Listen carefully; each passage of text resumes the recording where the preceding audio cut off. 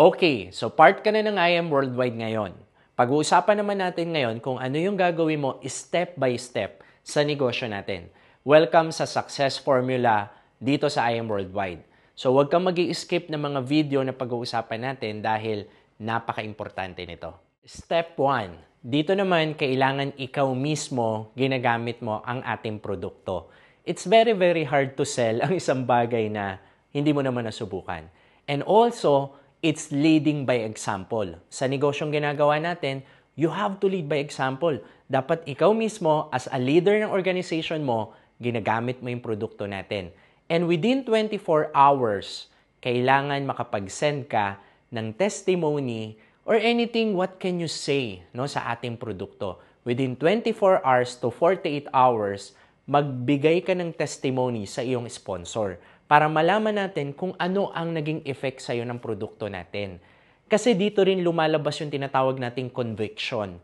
Kapag ikaw nakatry ng product, iba ang way ng pagsasalita mo, iba ang ang pakikipag-usap sa mga nagiging prospects natin. Dito naman, sa pagpo-purchase ng products natin, para mag-qualify ka sa mga incentives natin, at least 300 points or tatlong barley every month na binibili mo. Pwede mo rin yung gawing 6 boxes of barley. Bakit? Kasi pag ginawa mo yan 6 boxes, magko-qualify ka doon sa ating tinatawag na Project 001. At ito ang kagandahan niyan. Pag marami kang binibiling products every month, nagagamit mo rin yon as a sample sa mga nagiging customer natin. Kasi the more you give sample, the more na mas nagkakaroon kang maraming customer sa negosyong ginagawa natin lagi mong tatandaan, ang IM Worldwide ay product-based company. Sa sobrang ganda ng mga products natin, masarap siyang i-share sa tao at marami rin tayo natutulungan. So again, step 1, napaka-importante gawin natin. Step 2, dito naman pag-usapan natin, kailangan mong mag-build ng list. 'Di ba kapag ka meron kang negosyo, for example, restaurant or kung ano man, minsan may mga kaibigan ka, meron silang gym, 'di ba they always talk about yung negosyo nila. Ini-expose nila sa mga tao. In other words, hindi sila nahihiya. So tayo din, kapag ginagawa na natin ang IM Worldwide, huwag tayong mahiyang i-share ang products natin, i-share ang opportunity natin dahil marami tayong natutulungan. So sa pagbibuild ng list, at least 50 na tingin mo pwedeng ma-interest sa products natin at 50 na tinatawag nating opportunity seeker. Yung mga tao na gusto pa nila ng second income. Yung mga tao na gusto nilang madagdagan yung kita nila kahit may negosyo na sila. So, ilista mo lahat yan at take note. Kailangan mo tong gawin. Huwag kang magja-judge ng mga prospect mo. Kasi yung akala mong sasali, madalas yun yung hindi. At yung akala mong hindi sasali, madalas naman, yun naman yung mga sumasali. Kaya huwag tayo magja-judge. Ngayon, kahit na negative, minsan akala mo mukhang hindi mai-interest sa ganito, pero madalas sila pa yung nagiging leader sa negosyong ginagawa natin. Importante rin na mag-set ka ng goal. At least, ako I highly recommend lima ang mapadealer mo sa loob ng isang buwan. Kasi that will create momentum sa buong organization mo. At kailangan mo rin simula ngayon dagdagan ang iyong network or ang iyong mga friends or ang iyong connections. Lagi natin tatandaan, your network will determine your net worth. Isa sa common denominator ng mga tao na nagsasucceed sa pagnenegosyo, maraming kakilala. Kaya kung ikaw, onti pang kakilala mo ngayon, eto na yung time para dagdagan mo yan. Alam mo ba sa simpleng pag-a-add lang ng 3 friends per day, mag-grow ang network mo dadami ang kakilala mo. Pag kinumpute mo yan sa loob ng isang taon, libong tao na ang bagong naging kaibigan mo. And naniniwala ako, kapag nag-build ka ng list, nag-grow ka ng network, ng connections, ginawa mo tong step 2 natin, mas dadami ang iyong prospect sa negosyo natin.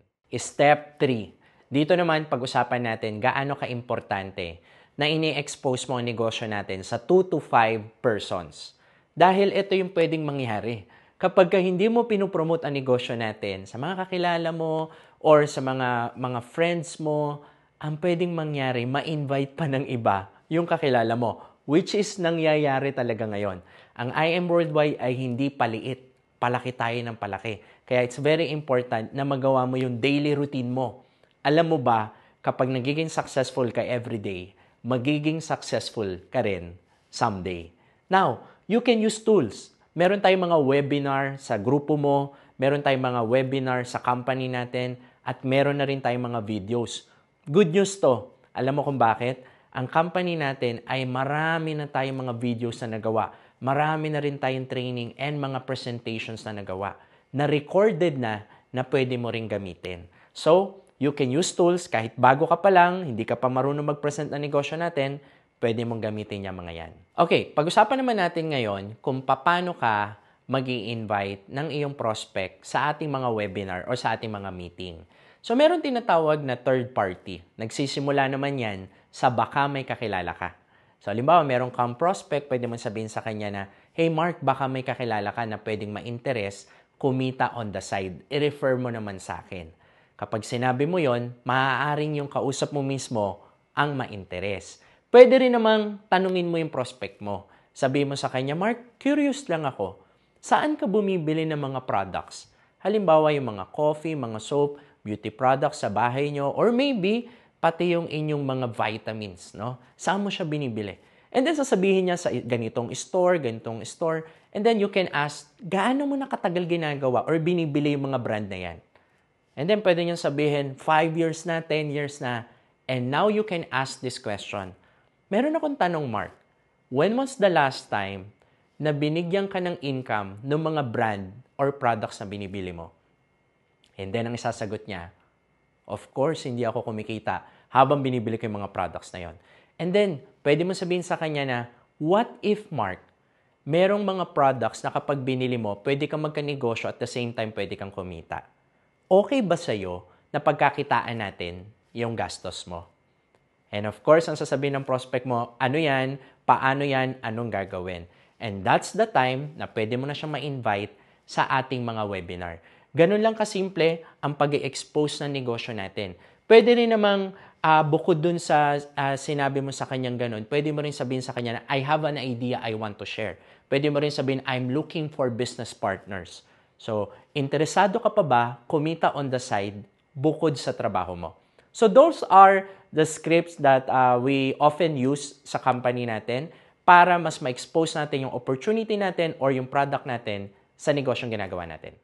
Step 4. Dito naman, you need to commit at least 2 years sa negosyong ginagawa natin.